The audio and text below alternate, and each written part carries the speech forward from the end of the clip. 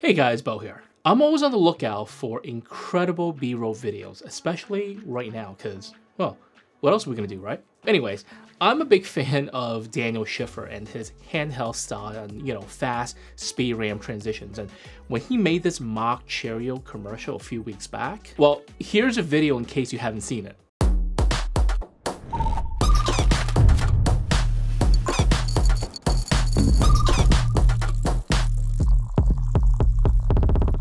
That was incredible, especially using the tools that he already has. That inspired me to challenge myself to make a mock video on the same product uh, with a different feel.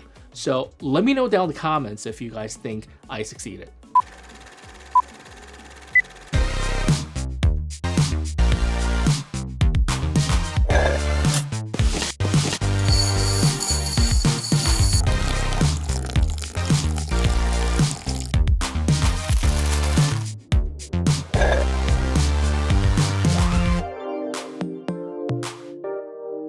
If you're interested in doing something similar, uh, I'm gonna go over what I did to shoot this video and also take you guys behind the scenes because, well, that's what my channel is about, right? All right, let's get started. First thing I did was to come up with a shot list. Uh, I came up with a simple storyline in my head and I figured out how many scenes I want there to be. Next, I drew a picture for each scene. I wanted to show the placement of the product, uh, camera position, show whether or not there's movement, uh, what the lens to use, light placement, so on and so forth. So when it comes time to shoot, all I gotta do is go to my shot list, follow the direction without spending a lot of time figuring out exactly what to do. I wanted to keep the length of the video under 30 seconds, so the overall feel is gonna be quick pace. So for the first scene, I thought it would be cool to have uh, three Cheerio boxes with different flavors, putting the hero in the middle and the other two on either side, but slightly behind, and use a dolly in move. So as the camera is moving towards the products, the boxes will swap places with one another to the beat of the music. In order to achieve this, I use a slider to do the same move I think like six or seven times, and every single time I change the position of the boxes. Now the tricky part was to make the boxes look stationary as I dolly in, so I mark down the position of each box, and when I swap them, they're in the exact same spot. With any slider move, it's best to use foreground to show depth and movement, so I thought a bowl full of Cheerios is the perfect prop to use. Since I had to repeat the move in the exact same speed every single time, I used a motorized slider. Now, you might be able to get away with a manual slider, but you'll have to spend a lot of time in post to match the clips up perfectly. This next scene is pretty simple. I want to slide the bowl, the spoon, and the Cheerio box into the frame. I use a photography backdrop as my tabletop, I put together an overhead camera rig. This has been my go-to overhead for a couple of years now and works really well. It can handle a 1DX camera with a heavy lens without breaking a sweat. If you guys are interested in an overhead setup like this, I might be able to make a future video on how to make one. So let me know down in the comments if you guys want me to make a video. For any overhead shot, I generally don't like to light from above because, well, depending on the product, sometimes it can cause glare or reflection that's really noticeable and distracting. For this scene, I backlit the whole tabletop. I used a 2x1 LED panel with diffusion. I also have a Westcott Scrim Jim in front that that really soften the light even more. Next is really just trial and error. It's not always easy to have the item slide exactly where you want to, uh, especially by hand, so that took a few tries, but it wasn't that hard to do. The scene after that is of course the Cheerio pour. I wanted the feel to be very immersive, like, like you're a Cheerio being surrounded by a bunch of other Cheerios being poured into the bowl. For this immersive feel, I used a Laowa 24mm probe lens and I shot this in a 120p.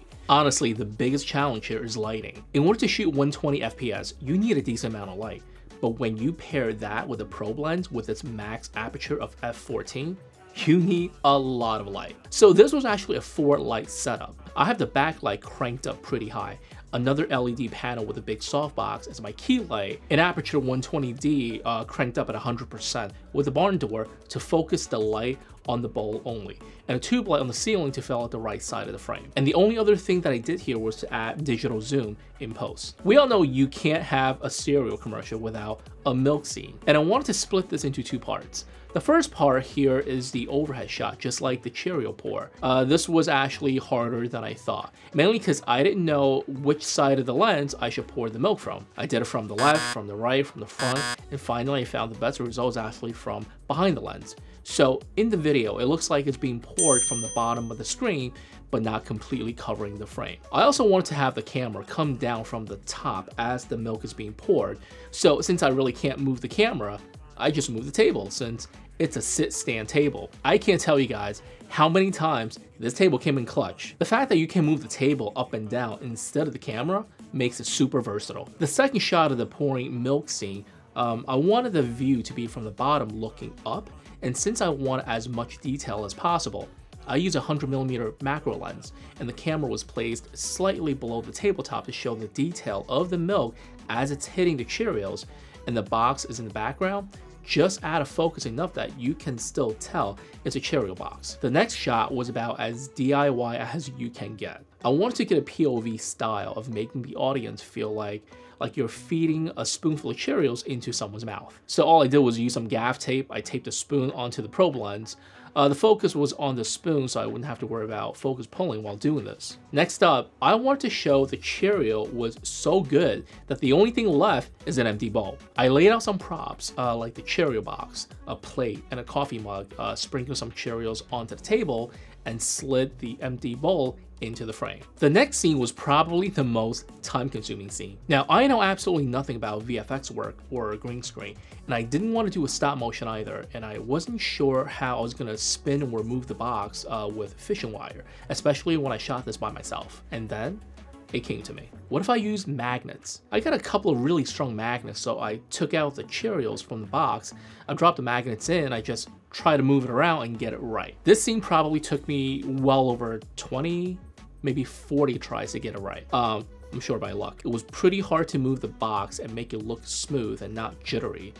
While it's not perfect, I think the result wasn't too bad. That was originally going to be my final scene, but I wanted to do something extra, you know, go that extra mile. Since the Cheerio brand is all about preventing heart disease, and even on the box they have this bowl that's shaped like a heart, I thought it would be pretty cool to finish off the video by putting the Cheerios in a heart shape and let it fly in the air in slow-mo. This was a simple one-take shot. All I did was I used a diffuser on a frame, uh, clamp it, and put the faux tabletop on it. I arranged the Cheerios in a heart shape, put the camera at 120 FPS on my overhead rig, and boom, easy peasy. With every commercial, it doesn't matter if it's 10 seconds or 2 minutes long, you need to tell a story. I wanted to get everything right during filming so I can spend as little time as possible during edit.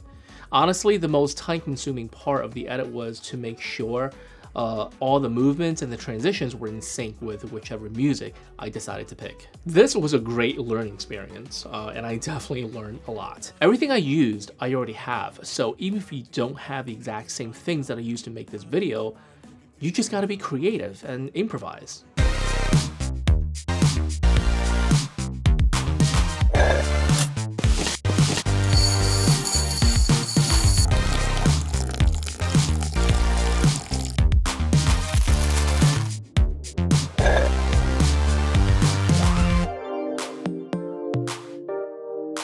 Hope you guys enjoyed this video, and if you did, drop a comment, let me know, and give this video a thumbs up. And if you guys want to see more videos just like this, make sure to hit that subscribe button and turn on notifications so you'll be the first one to know when I drop a new video. That's it for today. Thanks for watching. Catch you in the next one.